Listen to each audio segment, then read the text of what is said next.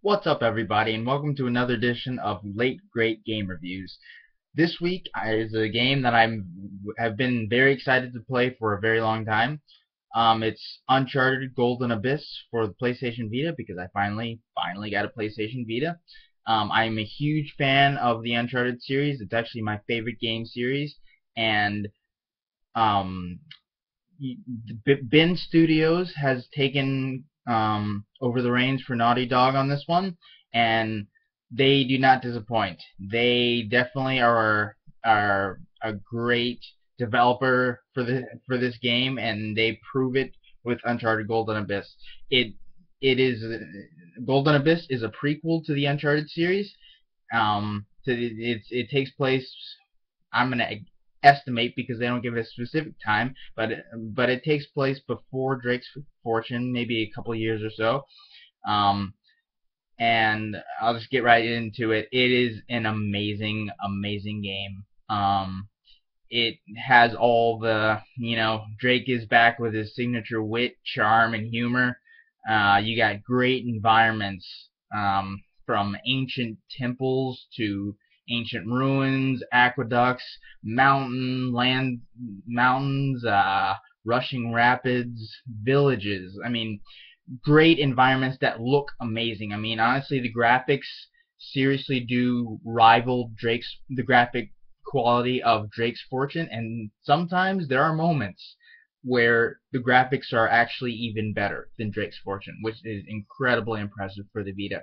Um, absent are the set pieces that the that are one of the uh, big staples for the franchise, but there's so much there's so many entertaining factors. Um, it, it, that's very it's a small small problem with the game. Um, the supporting cast for Drake for you know that accompanies Nathan Drake on this adventure is they're they're you know they're not it's um a woman named uh, Chase, uh, who's your main comrade in the game, and another douchebag, Dante. Um, he's, you know, you find out who he is um, in the prologue to the game, and the guy is honestly an idiotic, useless windbag with very shallow character, not great. Chase is a sweet character, but you know, she, she's no Elena Fisher or Chloe Frazer for that matter. Um, but spoilers. Um, it is nice. It is a welcome, welcome uh, surprise when Sully shows up late in the game, and you just get that classic banter with Sully, and it's so refreshing when he shows up. Um, uh, let's see. The gameplay is what you'd expect from any Uncharted game. Uh, the button, I was happy. I'm happy to say that the buttons are pretty much the same on the Vita as they are a, a normal PlayStation 3 controller, um, with some additions um, like throwing grenades and doing some other things. They've utilized the touch functions on the on the Vita, and that is it's they've done it in a really nice way. Like combat, you use some of the in during like some hand-to-hand combat. Whenever you're doing that, um, you use the buttons. Um, you use square as you usually do.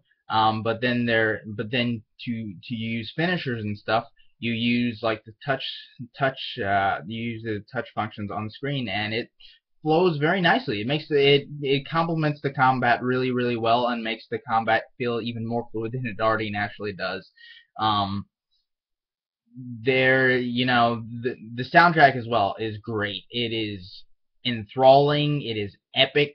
Um, Uncharted soundtracks are always great, and this one is no, it's no different. Um, it there are some tracks that are really, really amazing and very different. Um, and it really does add. It really helps. Uh, you know, add add atmosphere to the to this great adventure and this mystery that we're accompanying uh, Nathan Drake on once again. And uh, speaking of mysteries, there are many to solve in this game, not just the main one, of which is not the main, you know, the main mystery of the game and the story of the game of Nathan Drake, um, you know, trying to find this lost city somewhere in, in Central America. But there's actually much more to it than that. But I'm not going to spoil that. It is it's it's really fun to uncover it for yourself. Um, but now speaking of the mysteries, there are historic there's a lot of things that Bend has actually done that that Naughty Dog like that adds and builds upon what Naughty Dog has already done with the first th three games that are really ingenious, honestly. Um, you know, you you've got a lot of collectibles, the treasure sets. You've got treasures to collect, different treasure sets. Um, to collect, and it's great because with each treasure, they do something that they actually did in the new Tomb Raider reboot, which I love as well, um, which is every treasure that you collect, you actually uh, you um, every treasure you collect, you get the history um, around that treasure, which is amazing, and it and it adds so much more to the so much more to the game because you you you always you get even more of a sense of the just vast the breadth or my is that the right word? Well the point is you get such Nathan Drake has such a vast vast knowledge of you know treasure and ancient cultures and such and it, all the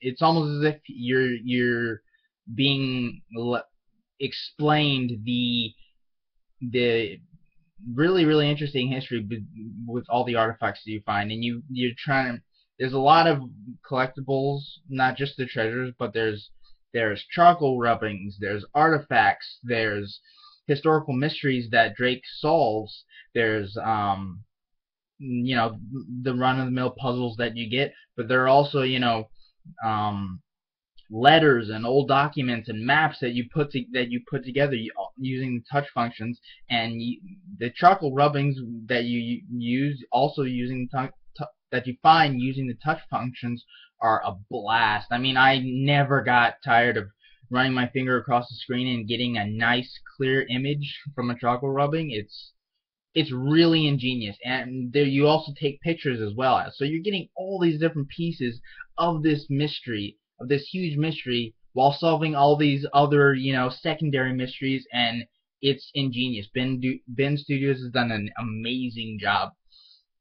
Um, and you really do feel even more like an archaeological explorer than ever before. It's it's awesome. I, I do want to describe one one uh, the entire game is amazing. Uh, um, but there's one moment um, that really, really sold me. Um, well, I was already sold for well, this game. I I can't stop praising this game and all the Uncharted games, but there was one moment where you you find this uh, you find this piece of paper and the ink can only be seen if you move it across bright light. I but you the great thing is that the document is actually you hold your PlayStation Vita up to bright light and you move it around and the ink actually you actually the message is revealed and that is absolutely amazing. I thought it was heat sensitive or something. I tried a few things but it's actually light sensitive. So you're actually holding your Vita up as if you would hold up a document to light to reveal the message. It's brilliant and amazing. I was awestruck when I when I uh, when I did that. Um, let's see, what other things are there to say? Because there's a lot to say about this game.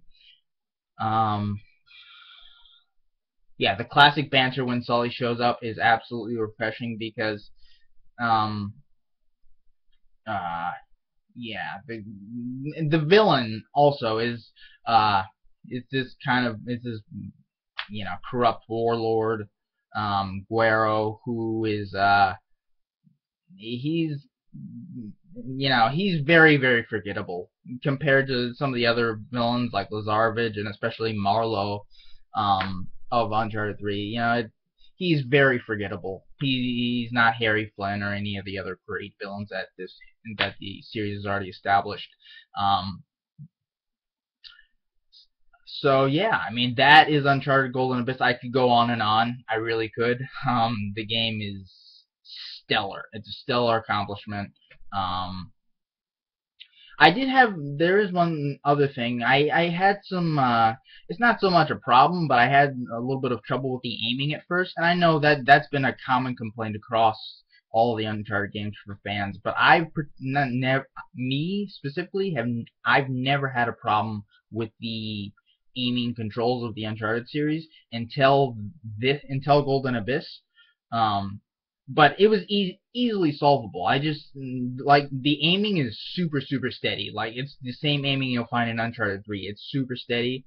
Um, but the sensitivity I found was a little bit much. I was kind of swerving all over the screen when I held up a gun in a gunfight.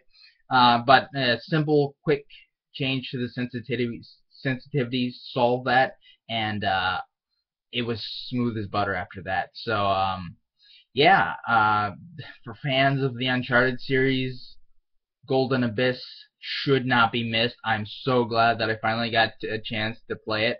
Something to, uh, you know, something to definitely hold me over until Uncharted 4. Um, it, yeah, and uh, it, yeah, it's it's it's once again an absolutely amazing game. Um, Bend Studios has done a great job, and I'd love to see them do more. Vita games or hell, even a console game, you know, because they they've really just added to the history and adventure um, adventures of Nathan Drake. Um, yeah, so I'm I am going to give Uncharted Golden Abyss an 8.5 out of 10. Um, you know, there are a few very very minor problems, um, but definitely nothing nothing that sours the game in any any shape or form. Um, for all Uncharted fans, Golden Abyss should not be missed. Alright, alright everybody, I will see you next time. Play this game.